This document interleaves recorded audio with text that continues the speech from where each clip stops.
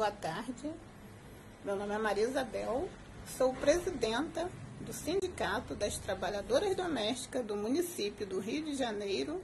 Venho por meio desse vídeo pedir a colaboração dos empregadores e empregadoras de trabalhadores e trabalhadoras domésticas que nesta semana, por conta desse vírus, coronavírus, dispensem as tuas empregadas e empregados e diaristas de suas residências, mas que também não deixe de remunerá-los esses dias de trabalho, inclusive as diaristas, né?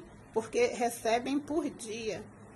Então, empregadores e empregadoras, é, contamos com a colaboração de vocês, porque sabemos que se essa categoria for contaminada pelo coronavírus, sabemos que a demanda do SUS e das redes privadas não tem condições de atender um número de população contaminada por esse vírus. Então, contamos com a colaboração de todos vocês.